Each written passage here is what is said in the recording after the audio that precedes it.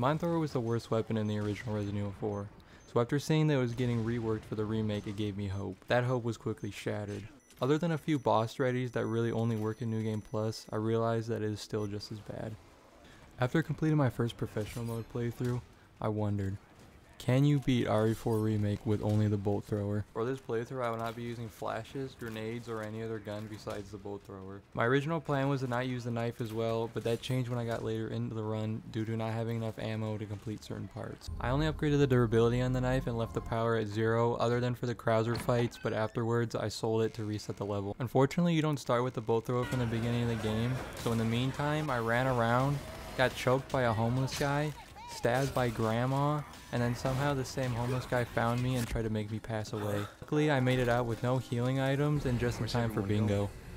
Bingo?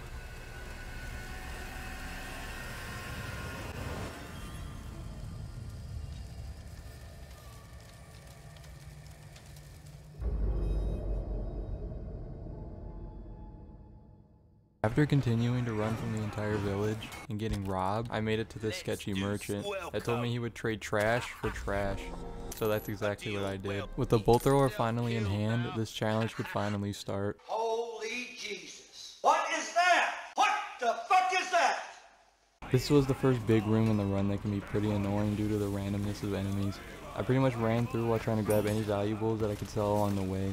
Luckily I got bullied by every enemy and didn't have to use any bolts. After disturbing a man's potty time, it was time to save the doggo. I wasn't sure about saving the dog due to it regenerating El Gigante's health, but it just felt wrong to leave the good boy. I then declined a generous offer. Hey, Rick Harrison from Pawn Stars here. Look, the best I could do is maybe a $19 Fortnite card, and I'll even throw in a Travis Scott McNuggy meal, alright? Do we have a deal? No! I'm just asking, dude. So in return, he bricked my game. Apparently, he issued a restraining order without me knowing because after trying to return to my beautiful boy, it happened again. Once six months had passed, I was finally able to progress. Now it was time to get the Gaius. Nothing interesting really happened and I was able to get through it with no issues.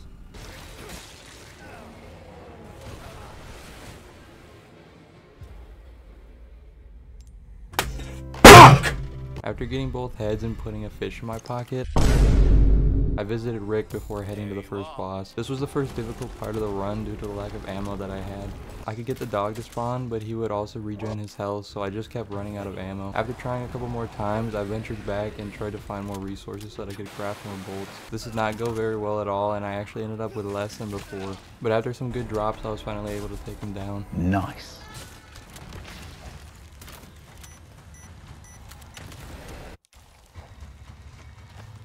Cabin was a complete resource hog. I tried to use the least amount of mine rounds possible other than for the bull guy, but that was difficult due to the amount of enemies that would be in the cabin at the same time. I restarted it a couple times to try and keep as many bolts as possible, but I came out with about the same amount every time. Eventually I got through it with barely any bolts and healing left.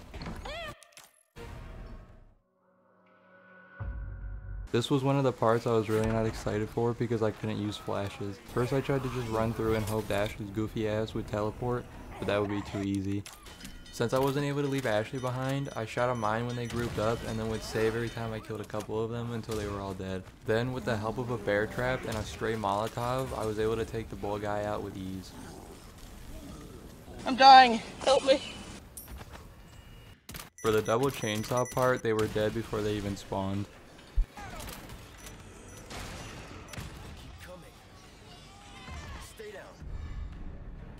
Because now is really time for the hardest part of the run, the big cheese. I thought this boss would be easy, but boy was I wrong. Just to give you an idea of how long this took, I have over 4 hours of footage for just this boss. I tried reloading my save and redoing the previous parts until I got the best drops I could, and I still didn't have enough ammo. So I finally caved, I used the knife.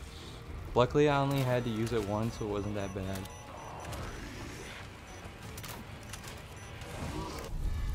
Then I finally arrived at the castle. Nothing really happened until I got to the most iconic room in all of RE4, Water Room. And it actually wasn't that bad. I ended up just luring them through this door and spamming saves until they were all dead. But nothing could prepare me for the next part, protecting Ashley. This has to be one of the most aggravating things I have ever done. Combined with being harassed with these goobers on the ground made this the worst part of the run. I eventually got past it by mining the door closest to Ashley every time one would blow up. Nothing interesting happened in the maze other than dog abuse. I then took Ashley to the best rated restaurant in the castle. Wasted more ammo than I needed to, but this allowed me to cross the bridge and skip this room entirely. And then Ashley made this part way harder than it needed to be, so I just left her to die, and fought some knights. This wasn't too bad because Ashley was actually useful for once and kept stunning them. Since Ashley is a time traveler and already knew the clock puzzle solution, it was pretty easy.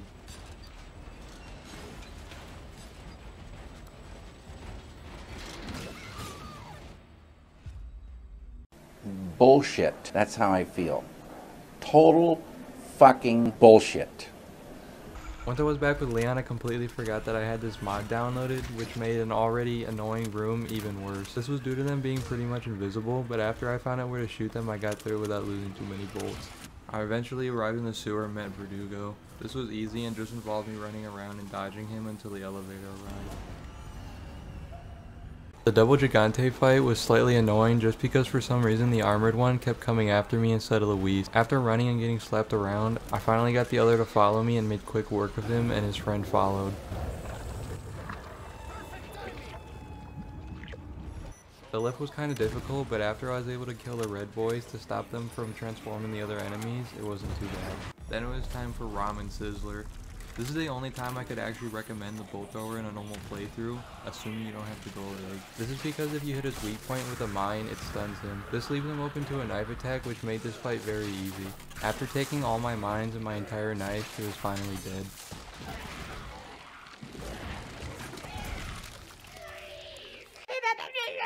The enemies I was dreading the whole playthrough was the regenerators, due to not being able to one-shot their weak points with the sniper.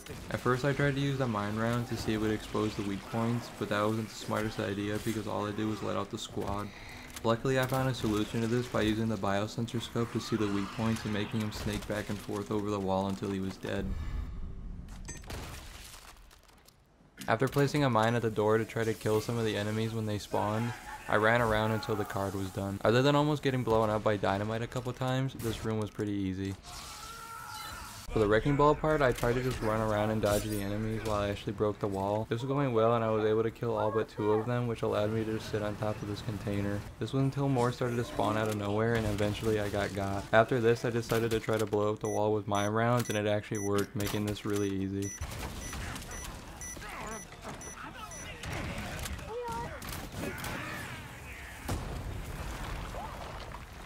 For Krauser, I tried to kill him without the knife at first, but after an hour of trying, I just kept running out of ammo for the second phase. I ended up just using the knife for the first part of the fight and spamming mine rounds for the second.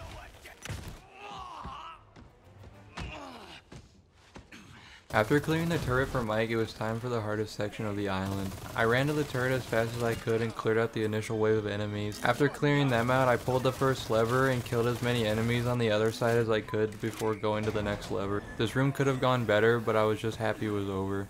The next part was a breeze because I befriended a cow and he sacrificed himself so that I could get through. Now it was finally time for Salad Man himself. Luckily I had enough mine rounds saved up which made this boss very easy. I just kept shooting them at his weak spot until he summoned his army of cows. This would make it a bit more difficult but not by much. They would mostly just die from the mines that I was shooting at him or from friendly fire. I ran out of ammo for the second part of the fight, but luckily I just had to wait out the timer until I was able to get the rocket. Tired of playing with your ass. Today your ass is gonna die. Say goodnight, motherfucker.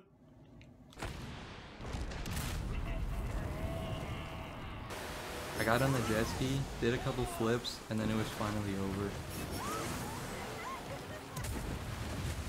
So can you be RE4 Remake on Pro using only the bolt thrower? Well, yes.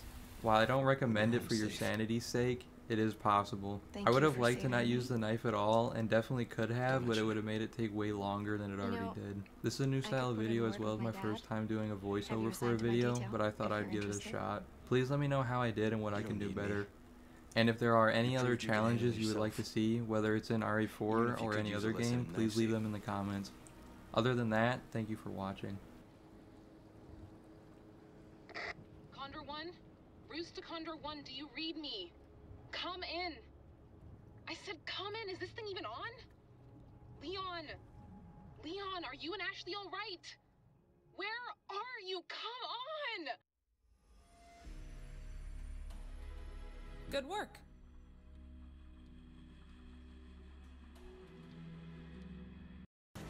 You want to see me take a shit? Huh? Here. Oh, you thought I was gonna let you see me take a shit? Well, you're wrong.